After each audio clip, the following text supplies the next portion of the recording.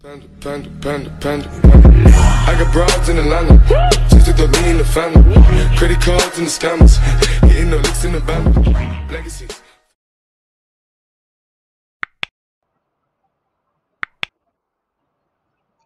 Eh bien, bonjour à tous et à toutes et bienvenue sur ma chaîne YouTube. J'espère que vous allez tous très bien. Pour ma part, ça va super. Donc aujourd'hui, on se retrouve pour une toute nouvelle vidéo sur ma chaîne YouTube. Une vidéo interview avec John Flowers que je remercie beaucoup pour le temps passé. Donc j'espère que vous aimerez cette vidéo. Si c'est le cas, n'hésitez pas à liker et à vous abonner. Donc on commence directement avec la vidéo.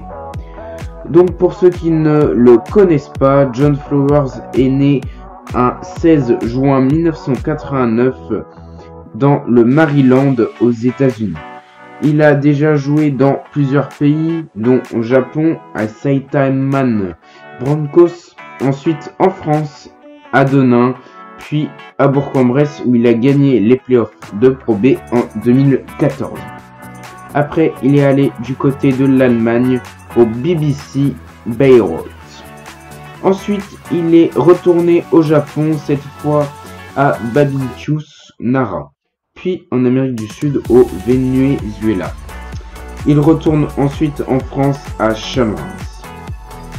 Il part enfin en Argentine et au Mexique avant de revenir en France du côté de Boulazac. Donc maintenant, nous allons commencer avec l'interview. Alors, à quel âge as-tu commencé de jouer au basket? Aujourd'hui, j'ai 31 ans et j'ai commencé à jouer à 3 ans. Pourquoi avoir choisi la France?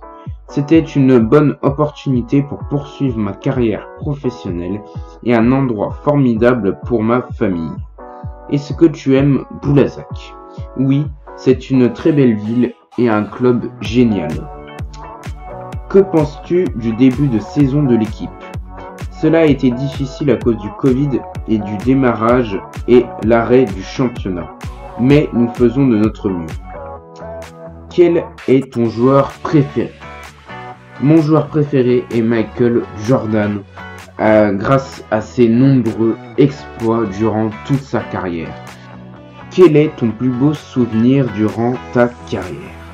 Jouer en Allemagne. Je me suis beaucoup amusé avec cette équipe et la ligue est juste géniale.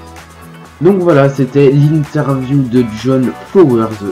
Euh, encore merci à toi si tu passes par la vidéo. Donc j'espère que cette petite vidéo vous aura plu. On se retrouve vendredi à 18h pour un nouveau concept. Je vous laisse avec une dernière action. Allez, bye